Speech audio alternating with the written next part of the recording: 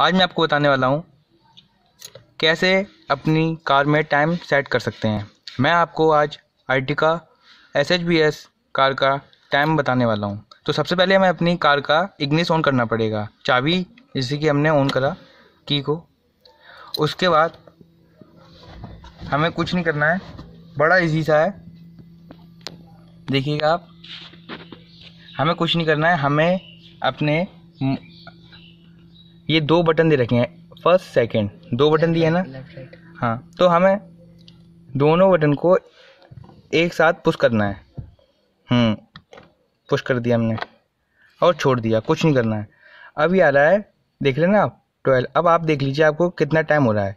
अगर आपको one button आपको उसे राइट साइड मूव करवाना है इसे देखिएगा।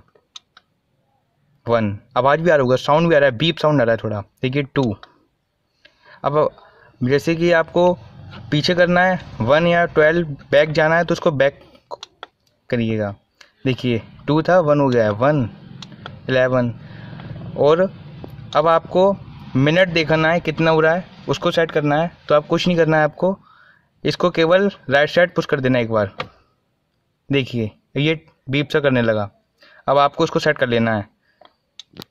फिफ्टी आवाज़ आएगा बी पेट पेज को घुमाने का। अगर आपको आगे जाना है तो आगे घुमाइएगा, पीछे आना है तो पीछे घुमाइएगा।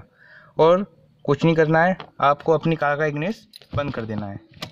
और फिर आप उसको खोल के देखेंगे तो आपका टाइम सेट हो चुका होगा। गाइस अगर आपको ये वीडियो पसंद आई हो तो प्लीज़ लाइक शेयर कमेंट ज़रूर करें। Thank you for watching my video